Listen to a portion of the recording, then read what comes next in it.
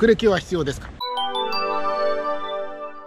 精神科医カバサーションのカバチャンネル。今日はスペインバスク地方のゲタリアという町からお届けしています。質問いただきました。AS さん19歳男性。学歴は必要ですか？様々なことを調べていく中で学歴は一種の身分であり世間的に認められたり出世したりするためには一流大学卒業であることが非常に大切であるといった意見を目にしました。この現実は避けられないのでしょうか？何やりたいかによると思います。なんか一流企業とか有名企業に就職したいということであれば有名な大学出てるということはねそれなりに有利に働くと。いうことだと思います。あるいは大卒でないと勤められないというね会社もあるかもしれないですし有名大学を出てるほど就職に有利ってこともあります。ですからあなたがどういう人生設計を持ってどういう会社に勤めていきたいかっていうねことを考える上で学歴っていうのは多少有利に働くというかそれなりに有利に働くということはねあると思います。何をしたいかによりますので例えばミュージシャンになりたいっていうのであれば別に大学出なくてもいいと思うし YouTuber になりたいっていうんであれば別に一流大学出てる必要とか全くないと思うし実力勝負の世界であればその実力が有利に立ちますよね。分かりやすく言うと一つのトランプかなんかでいうところの切り札みたいなものでございますね。学歴っていうのは。だから学歴のこの切り札を持っていると人生というゲームにおいてかなり有利にゲームを進められるということになりますけども別にそれを持ってるからといって最終的に勝てるかどうかとかいうことになってくると例えば一流大学を出てる人がみんな収入が高いかというと別にそうでもないです一流大学を出ててもいい企業に就職できてない人もいるかもしれないし一流大学を出てても不幸になってる人は多分たくさんいると思いますので別に学歴が高いからうまくいくとか成功するということではないですよね。だからこれからの社会っていうのは学歴よりも私は実力が優位の世界になってくると思いますのでなぜかというとインターナショナルに国境というものがどんどんどん希薄になってきて今もうすでになりつつありますけども外国人といろいろ競い合うところになりますよね。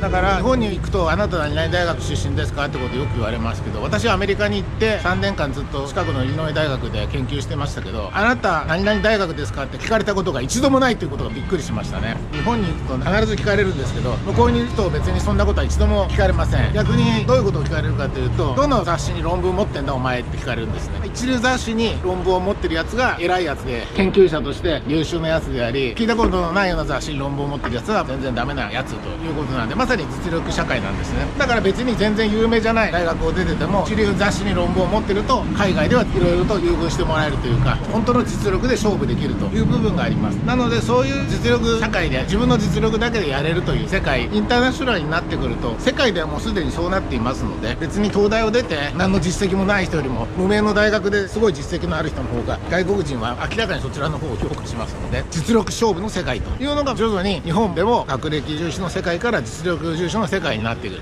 だからあなたが一流大学とか有名大学にもちろん入れればそれは入れるに越したことがないですけども入れなかったからといって別にがっかりしたりですね打ち込んだりですねもう人生ダメだとか思う必要っていうのはまあ全くないわけでそれなりに自分の実力を発揮できたり自分の実力を示せるようなそういう経歴を積んだ方がいいと思いますねだから別に大学出ないで海外に行って英語ペラペラになったり外国人と蝶々発しでコミュニケーションができるスキルを磨くっていうのも一つのあり方だと思います。それも一つの人生のこう切り札生きていく上でも仕事をしていく上でも切り札の一つを手に入れるっていうことになってまいりますからね。一流大学を出てなければ一流企業に入れなくてもう人生終わりだみたいな風に考えるっていうのは実に古臭い考えでありまして例えば別に高卒だろうが全く無名の大学を出ていようが例えば自分で会社を作った場合においてどこどこ大学出身とか全く関係ないわけで皆さんの役立つ商品やサービスを販売してるかどうかの方が100倍か1000倍か1万倍ぐらい重要であって例えば皆さんが今使ってる商品の会社の社長がねどこの大学を出てるかなんていちいち皆さん調べないと思いますけどもそういう風に別に自分で会社を作った経営者になりたいと思うのであればそんなに。学歴ってものは必要ない。実際に自分で会社を作って大成功してる人で全くね主流大学でもないし逆に言うと大卒でもないような人が成功してる人がねたくさんいるというような現状もあります。ということで学歴っていうのはこれからの時代において必要ですかって言った場合において